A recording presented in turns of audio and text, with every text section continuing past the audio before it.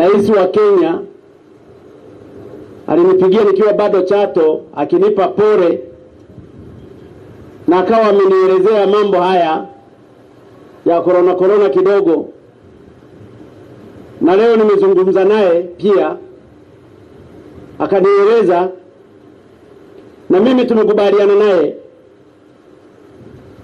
Kuna tumigogorogogoro kule mpakani mpakani. Wakenya ni marafiki zetu. Kuna Wamasai Kenya, kuna Wamasai Tanzania, kuna Wajaruo Kenya, kuna Wajaruo Tanzania, kuna Wakuria Kenya, kuna Wakuria Tanzania na kadhalika. Kwa hiyo korona isiji ikawa chanzo cha migogoro cha kutokuelewana. Tumekubaliana na Mheshimiwa Rais Kenyatta kwamba mawaziri wetu wa uchukuzi pamoja na wakuu wa mikoa, kwetu sisi Tanzania ni mkuu wa mkoa wa Mwanza, mkuu wa mkoa wa Mara, mkuu wa mkoa wa Arusha, mkuu wa mkoa wa Kilimanjaro na mkuu wa mkoa wa Tanga. Watakutana na wenzao mpakani na wenzao wa Kenya wajadili hili swala, walimalize.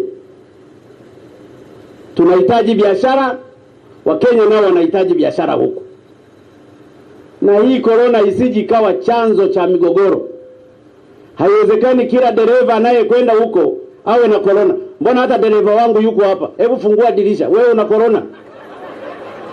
Yuko wapi dereva wangu? Simama hapa wakuone kabisa. Huyu ni dereva wangu, tena mgogo. Sasa madereva hawa wote tungekuwa leo tunaenda wote tuna korona, lakini najua haya yatatatuliwa vizuri. Kwa hiyo tumewaachia waziri wa uchukuzi wa Tanzania na waziri wa uchukuzi wa Kenya pamoja na wakuu wa mikoa wanaopatana wayamalize haya matatizo. Haya matatizo ni madogo, ili kusudi Wakenya wafanye biashara na Watanzania wafanye biashara. Nilikuwa naambiwa palikuwa na magari kule yamekwamishwa ya Wakenya, haiwezekani tukawakwamisha wanakuja kufanya biashara, lakini pia magari ya Tanzania hayawezi yakakwamishwa kwenda Kenya.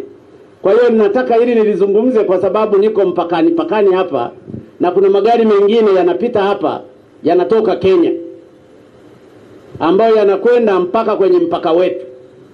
Kwa hiyo ninawaomba viongozi walioko katika mikoa inayopakana na nchi ya Kenya na Tanzania wasitatue matatizo yao kwa jaziba, waweke Utanzania na Ukenya mbele, wazingatie uchumi wa nchi zetu.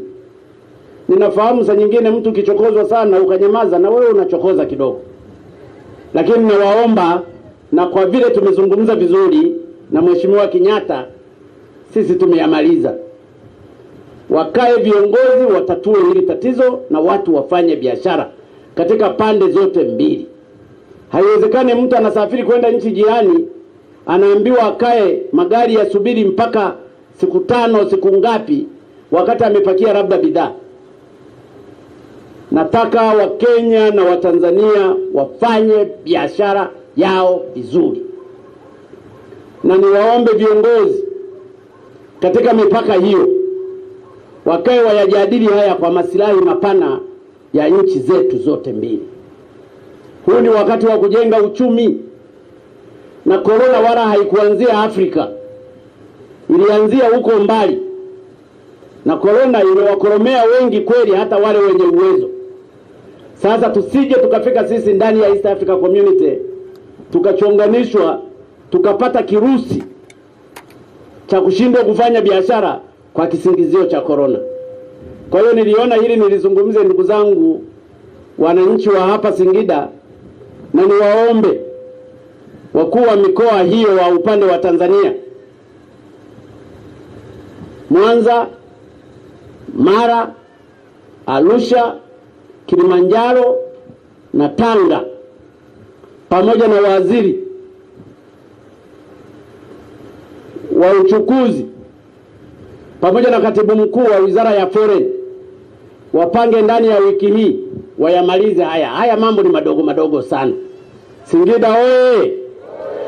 Singida oye!